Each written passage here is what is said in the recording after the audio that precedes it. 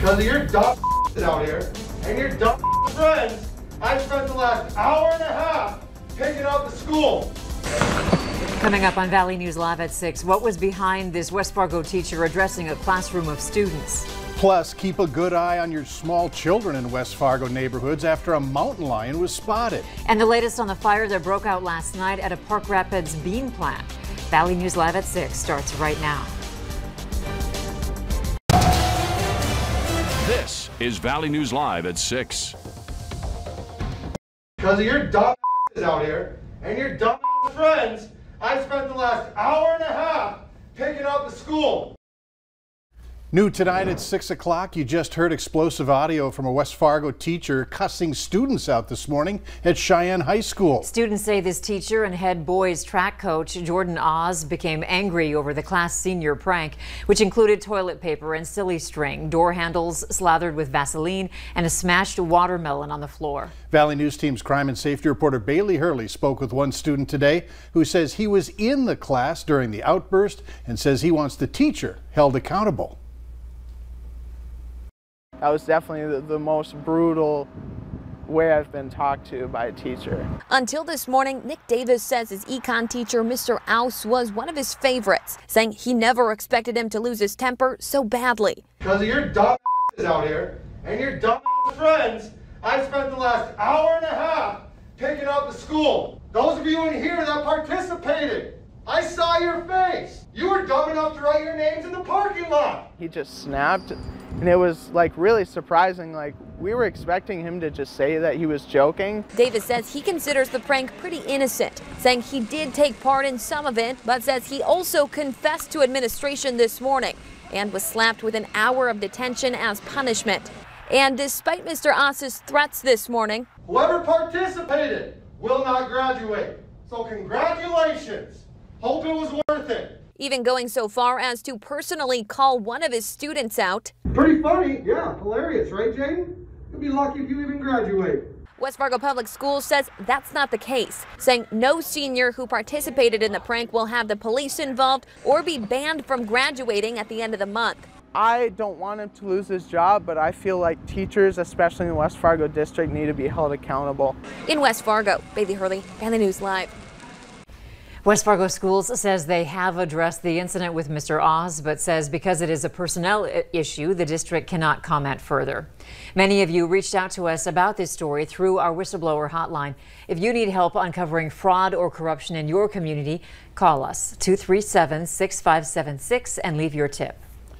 Sad news out of the West Fargo Police Department today. A police officer passed away while on duty. Police Chief Dennis Otterness said that the officer suffered a medical emergency. The name of that officer has not been released. West Fargo police are asking you to keep an eye out for a mountain lion near the Sheyenne River. The large cat was spotted in the area of 26th Avenue and 1st Street East just before 8:30 this morning. Nearby Freedom Elementary School decided to keep kids inside for recess for the rest of the day. Police say the mountain lion hasn't shown any aggressive behavior, so they're just letting it go on its way. But they urge you to keep an eye out for your kids and pets. And if you see the mountain lion, call 911. Temperatures remained warm today, which is good, but we've had to deal with challenging winds at times. Let's go to Hutch to find out about tonight's conditions. Hutch? A little bit of blue sky showing up from our home of economy view in the Devil's Lake area. As we head into our evening hours, we are warm. It's 77 in Fargo. Uh, it's 81 up near the international border in Hallock right now. Some of the warmest temperatures once again in Roseau, cooler south and east where there's been more clouds and even a few showers heading in toward the Twin Cities. Now look at what we have going on with wind speeds right now. They're gusting Strongest in the FM area where we have gusts to 40 miles per hour. They're from the south and southeast, gusts to 39 miles per hour right here in the valley in Grand Forks as well. So hold on your hat. But again, count on clouds, wind, and mild temperatures for your evening tonight. We do have a few clouds out there, sprinkles showing up in the far, far east. I think most of us stay dry and your planner shows temperatures because of the clouds and the wind really slow to fall. We'll be in the 60s by midnight tonight as, again, the wind will taper off, become less gusty at sunset. Coming up, we'll have details on some much needed rainfall in the forecast. I'll tell you when your chances are going to be best in your neighborhood here in just a few minutes. Anxious to hear that. Thanks, Hutch. Firefighters spent the night at a bean processing plant in Park Rapids, Minnesota, where fire caused extensive damage. It started around 8:30 last night at Green Valley Bean along Highway 34. Fire crews were called back out there around 3:45 this morning for another flare-up. No one was hurt and there's no word yet on a cause. A Fargo business is rebuilding after a massive fire last week and will be relocating in the meantime. Body Works Physical Therapy says their new building should be complete by October or November. The fire destroyed an entire strip mall, including Bodyworks and Gigi's Playhouse. Bodyworks will start seeing patients tomorrow at their new temporary location in the Prairie Stone Center on the corner of 45th Street and 17th Avenue South. The University of Jamestown PT program is loaning them equipment until their new items arrive. A Fargo man was sentenced to 10 years in prison for abusing his seven week old daughter. 37 year old Roger Hellerud pleaded guilty to felony domestic violence, serious bodily injury stemming from the incident in December of 2019. Hellerud and his wife brought their daughter to Essentia Hospital for an injury to her mouth. Medical personnel soon discovered that the girl had subdural hematoma. Hellerud had been watching her, his daughter at the home by himself with their young son at the time that the injury occurred. A Fargo property owner has been charged with criminal mischief and disorderly conduct after attacking a Valley News Live reporter and photographer. The incident, as you can see, was captured on camera.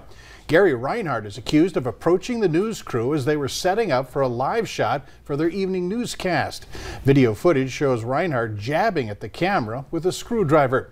This incident happened at 1418 First Avenue North near property owned by Reinhardt that was ordered to be demolished by the city of Fargo. The U.S. Marshal Service is reviewing its security procedures to ensure the safety of the federal courthouse. The announcement comes in the wake of yesterday's death in a courtroom at the courthouse in Fargo. The FBI says 55 year old Jeffrey Ferris of Belcourt used an easily concealable instrument to take his own life. He had been found guilty of reckless endangerment, terrorizing, and use of a firearm in relation to a felony crime of violence. The mandatory minimum sentence was seven years in federal prison. A Beltrami County deputy and his canine are being credited with the capture of two wanted men. Last Wednesday, deputies were called to assist with a vehicle pursuit. Officials say the suspect pulled into a business, then ran away, but was arrested after Canine Mac managed to track him down. Then on Friday, deputies were called to a pursuit of a stolen vehicle on Irvine Avenue. The vehicle crashed into the side of Lake Julia, then the suspect ran away. Officials say Canine Mac found him and he was identified as Dwayne Hart. Minnesota Governor Tim Walz was in White Bear Lake today to speak on the federal COVID-19 funds to support summer learning programs. Governor Walz said the agreement that they were able to come up with yesterday is to free up the funding from the American Rescue Plan that's meant to be used for enrichment education for mental health services for students. Walz says this will help focus on a number of things for Minnesota to focus on kids, schools, it needed to focus on families, um, and it needed to focus on small businesses. And I think we're able to do that in a bipartisan manner. I, I think when the story of this is all written, at a time that seems very contentious in our country, the recovery for Minnesotans, um, the system seems to be working. Since the start of the pandemic, Minnesota has reported more than 7,300 COVID 19 deaths and over 595,000 infections. More than 2.7 million people in the state have received at least a first dose of the vaccine. West Fargo Public Schools is expanding its summer food service offerings for children in the community. A weekly grocery box option is available to children between 0 and 18 years of age from June 3rd, uh, 3rd to July 29th. On Tuesdays and Thursdays from 1230 to 1 at Cheney Middle School and Liberty Middle School, no ID or proof of residency is required. No boxes will be distributed on July 6th uh, through the 8th or rather July 6th or 8th. For more information on daily meals and daily hot meals, you can head to valleynewslive.com and find this story. West Fargo's fire department is getting a new headquarters. The city has approved EAPC Architects engineers to do the project, which will be located at 1201 10th Avenue East. Fire Chief Dan Fuller says out of the seven proposals, theirs stood out because of local focus and statewide reputation of building fire stations.